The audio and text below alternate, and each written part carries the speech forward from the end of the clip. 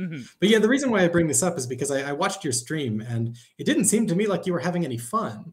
Um, I look and to be fair, when I'm streaming, I'm drinking and also I'm I'm the, uh, it's intentionally being extravagant. I, sure, I get it. That's you know Also, the, I had- the YouTube. it was also my biggest stream. I had 500 people in my chat. Like people are constantly talking at me. I and it's it's hard to like shift focus and you know yeah. I, I'm sure you've done like talks like in public before, like having people ask like try to get your attention with different things. Like yeah, it, it's difficult. Well, mostly when I'm doing a talk in public, the audience is nice and respectful, and they're not Hopefully, interrupting me. yeah, that's talking. fair.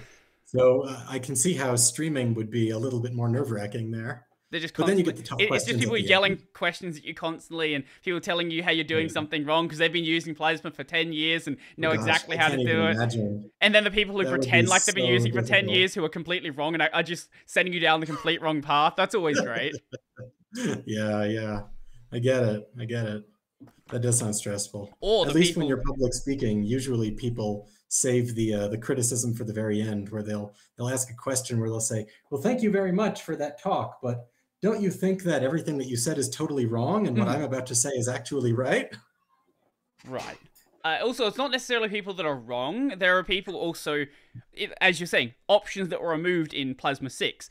Like, they tell me about an option to fix something, like some issue I was having, but it exists in 5.27, but it doesn't exist now. So it's, yeah, it- Yeah, exactly. yeah. Um. So anyway, you were saying about the stream. Um. Didn't look like I was having fun. Yeah, and I, I was feeling sad because you know eh, the process of of discovery and learning something new I think can be fun. Um, and I figured there was a little bit of extravagance and flamboyance for the audience there, but uh, but yeah, my my general um, my general hope is that people who are putting together a Lego set without the instructions would be enjoying the process. Otherwise, they would be using the instructions. I think the main And. I take your meaning that maybe the instructions themselves were not as clear as they could be. So totally going to change that right after this.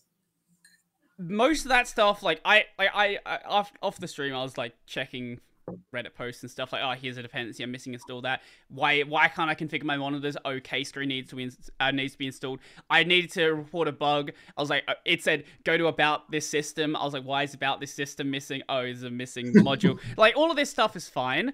The the main issues I had, and I, I did talk to David about this, um, were my stuttering issues, and there were issue there were stuttering issues that got addressed in 5.27 and this might be like a different issue or something. Like or it might be like a dri- an AMD driver issue or I, I I don't know what it is but um yeah there's just like anim sometimes animations lock up. I, I I have no idea what the problem could be. And I'm not an Nvidia Well- user. That's the, which is the big problem. I'll, I'll I- try not to turn this into a live bug triaging session, but uh, is it fixed now or are you still experiencing it? let's find out. Uh no 'Cause it- to me, it sounds like it probably is a graphics driver issue. yeah Um, Well, this goes back to the WirePlumber thing, right? Like, it could just. the thing. How do you know, has- right? And yeah. for graphics drivers issues in particular, there's almost no way to avoid first filing a bug on KWin, and then Xaver or Vlad shows up and they say, "Oh, it's this exact bug on the Mesa issue tracker." That's that's there." kind of what David was saying, where it was like, there's um animation. You need to like request a number of like a delay from the GPU or something. I don't remember. It was like very technical GPU stuff. I didn't Those really. know guys that. are way smarter than me. I Um, can't pretend to know what they're saying most of the time, but I, I always just Basically, figured that they GPU hard. That's pretty much what we got. it's very hard. It's very hard. Very hard indeed. hmm But the reason why it might sound like I'm so critical about Plasma is because most of it is good. Like most of it, I don't like. I don't need to talk about the way that um like window snapping works or the way like basic things like resizing windows, window closing, the way shortcuts work. Like all of this stuff's great. Like this is why like it. It might seem like I'm more I'm more critical of it than I should be, but it's because there there are these very few issues that I have that like that they're, they're, why is OBS lagging? Oh no, maybe the, the whole browser was lagging. I don't know. Whatever. Uh, Chromium. Well, fix. It- I don't know what it was. Um, I will check in the recording afterwards. But there are so few issues I have in Plasma. Like the way tiling works is one, and it's not a bug with tiling. It's just actually one. Have you tried Polonium? I'm waiting for them to get 1.0 out, and I think they're waiting on Plasma to fix a bug. So I think the bug's gonna be fixed in. I think the bug has been fixed, but they're waiting on. .04 is that the next version or is .03 whatever the next version is to come out 04 is the next Yeah. one, yeah.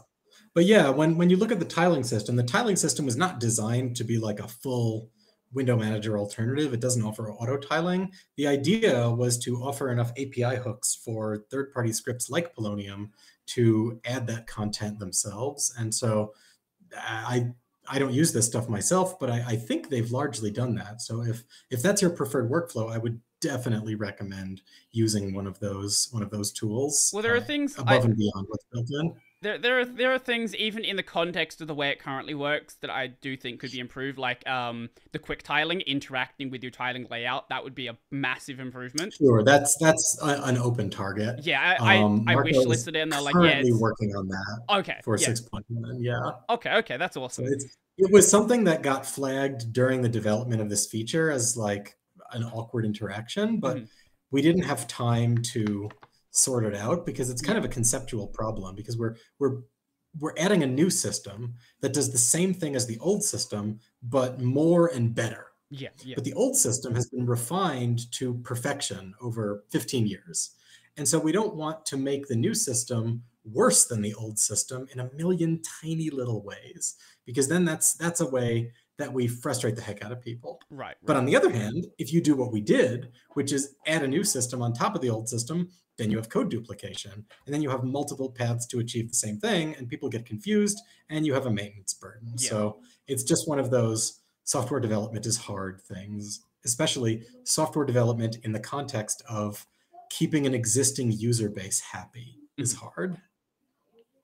I also I I haven't reported the problem yet. I need to do that, but I also noticed a weird issue where under some like very odd conditions, if you resize a floating tile, you can get it to start overlapping with other tiles. It, it's a very weird one. Um, I think it Oh, showed up. really? I thought we fixed that one. Mate, Uh, oh, okay, maybe it. Let me try that. Yeah, we fixed that. That's fixed in 6.1 already. Oh, okay, awesome. Yeah, I um, remember that one. That was a 15 minute bug. because I so I I I'll- electrocuted somebody into fixing it. Because I was messing around with the floating tiles and I had. I, I think I had like two floating tiles sitting there and I resized one of them and it suddenly turned back into like a regular tile and it started like Oops, yep, that's and it was like because it was it was overlapping so the buttons were behind another tile so I had to like delete a tile to get to it. it was, obviously it was a It's very bug. awkward. Um yeah. definitely a bug. Got fixed already. Yeah. Maybe it- even 6.04. I, it's at least fixed in fixed in 6.1. okay. So awesome. I'm trying it out right now, and it's it's not happening again because I know exactly what bug you're talking about. Yeah, yeah. It's it's one of those bugs where you have to like really be trying to do something stupid to get it to happen. Um I mean, frankly, you know, the awkward truth is a lot of bugs are like that. Um, my wife has been using KDE Plasma for years now.